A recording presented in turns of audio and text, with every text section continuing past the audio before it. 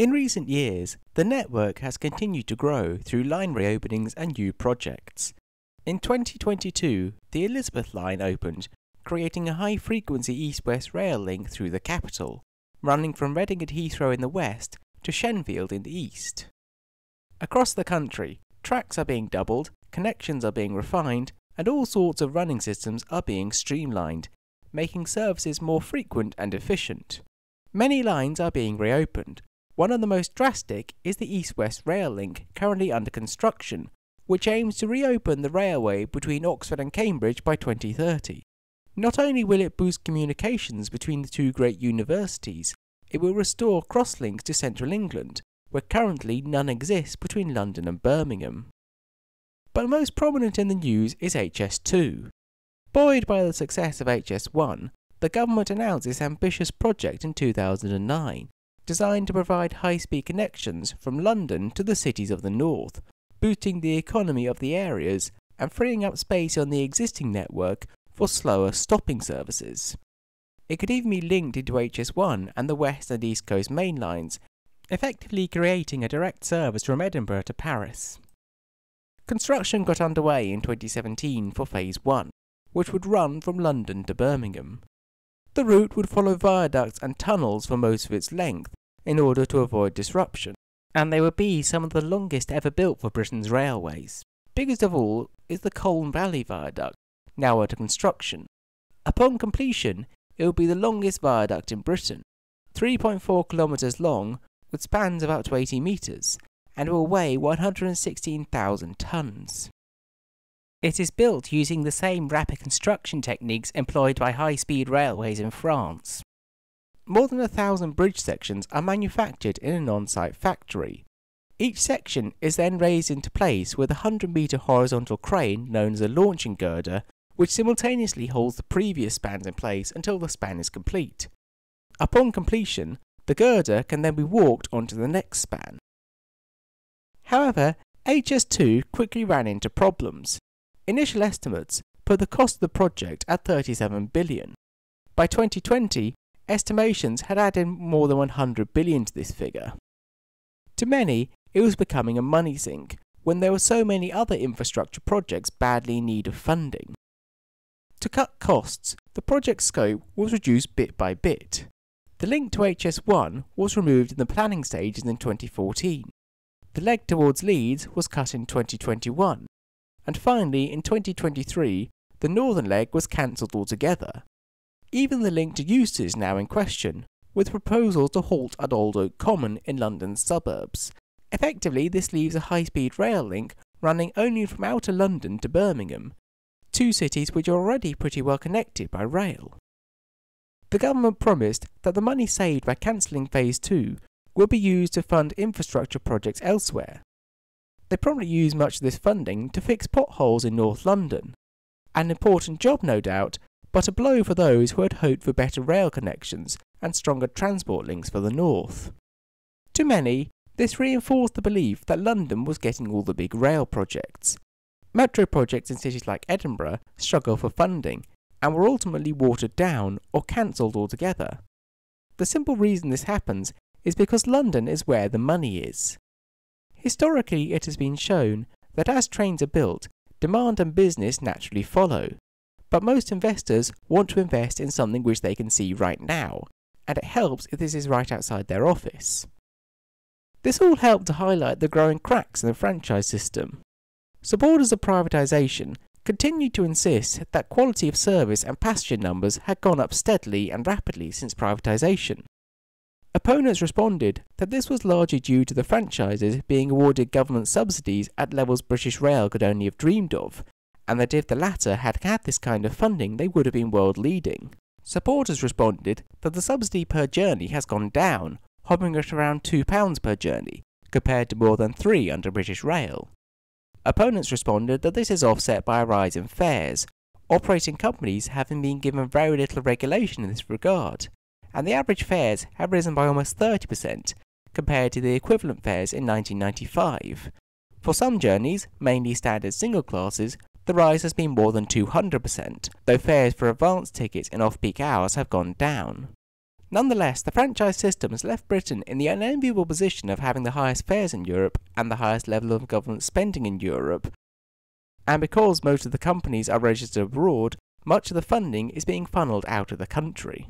And despite this, Britain's railways have no clear advantage in performance over their European counterparts. The system assigned services to a franchise based on which promised the most.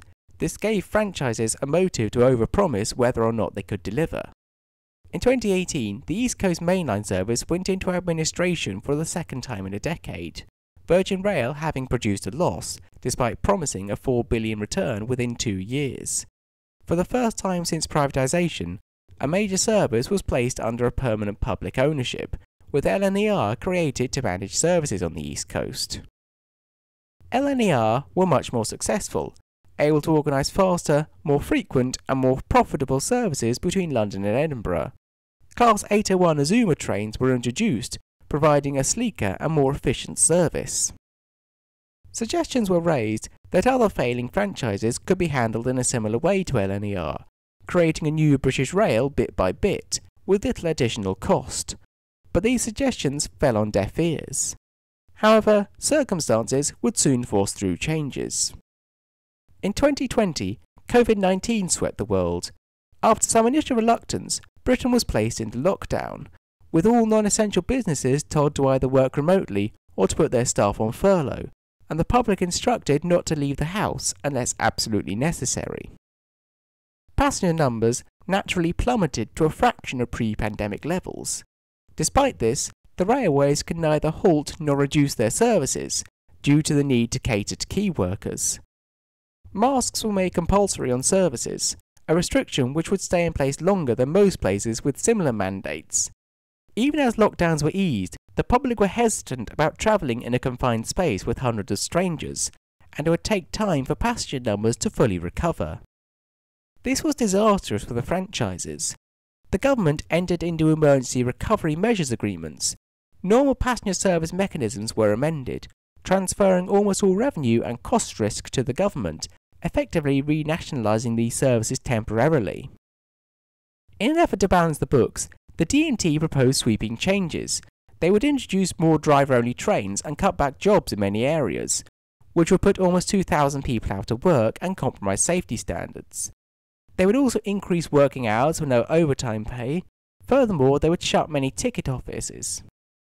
This did not sit well with rail workers, who were already upset with repeated pay freezes especially when shareholders had continued to award themselves significant pay rises throughout the pandemic and the cost of living crisis. To protest these changes and campaign for fairer contracts, the RMT, ASLEF, and the TSSA voted to implement the first nationwide rail strike since privatisation. A series of temporary strikes which would block the proposed changes from being implemented and generally force those in power to listen.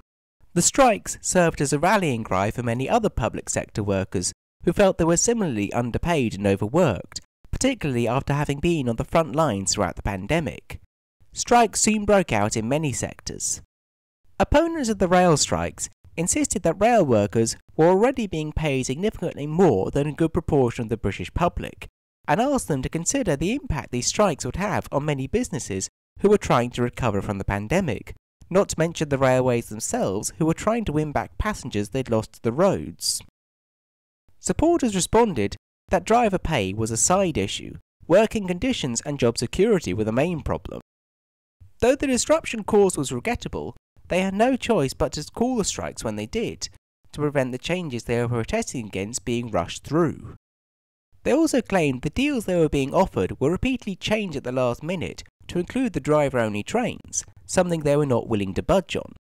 Meanwhile, the DfT were equally unwilling to concede, and so the dispute dragged on. This led many to accuse the government of repeatedly blocking negotiations. After all, in Scotland and Wales, where the DfT has no power, deals were reached quite quickly. YouGov surveys showed a 57% union support from the public, a figure which remained fairly constant throughout the strikes.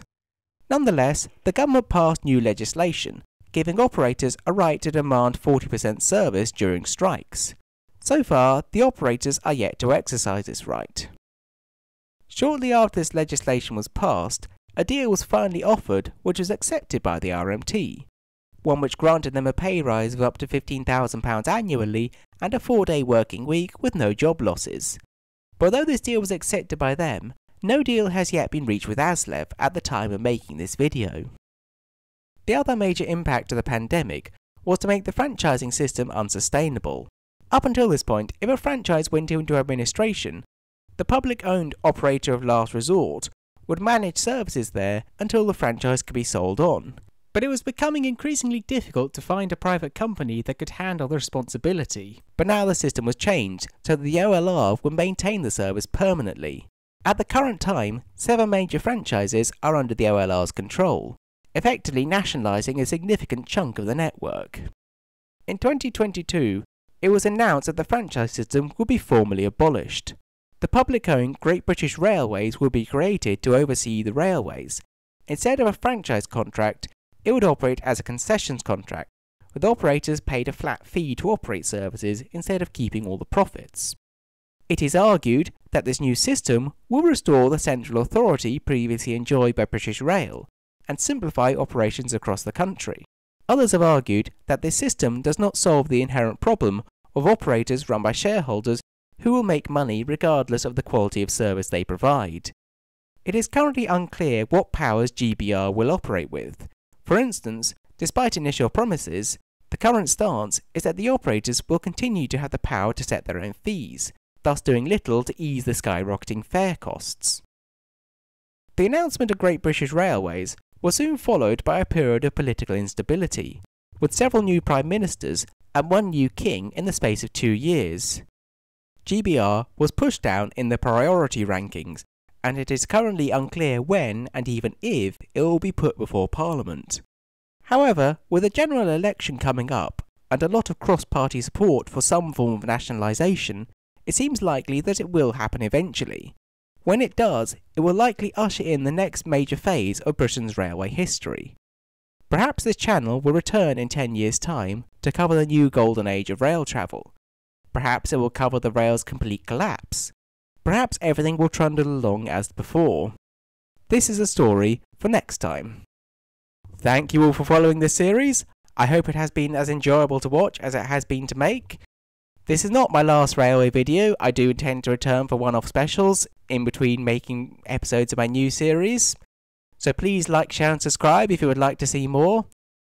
There was a trailer for my new series in the description, so please watch that. And in the meantime, why not check out the rest of this series if you've not already done so. I hope to see you soon.